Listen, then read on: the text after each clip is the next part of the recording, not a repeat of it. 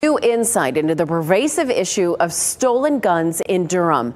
WRAL investigates previously reported more than one gun a day is stolen there on average.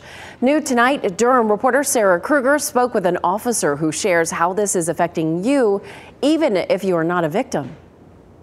When a gun is stolen in Durham, the story doesn't stop there. It means the firearm is now on the streets, often untraceable in the hands of criminals.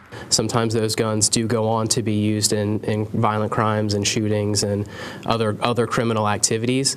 And because they're stolen, it's, it's extremely hard for us to follow through and, and to track those. Sergeant Michael Beal says when a gun is stolen, there's a ripple of impacts that places strain on an already understaffed department. We could reduce the our, our call volume, our officers having to respond out to those incidents initially.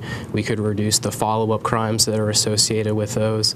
Our investigators would have more time to focus on other things. Data from the Durham Police Department shows from January 1st through November 26th of 2022, there were 331 cases of one gun or multiple guns being stolen.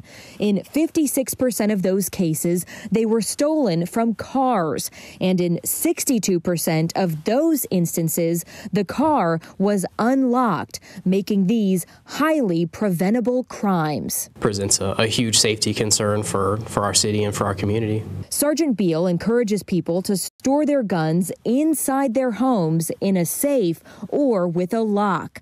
Beyond that, he says it's important to record your gun's serial number. If their gun were to be stolen for any reason, that we would have that serial number available immediately to enter it into uh, the national database, and that can help us track, um, track and recover that gun a little bit easier. Sarah Krueger, WRAL News, Durham.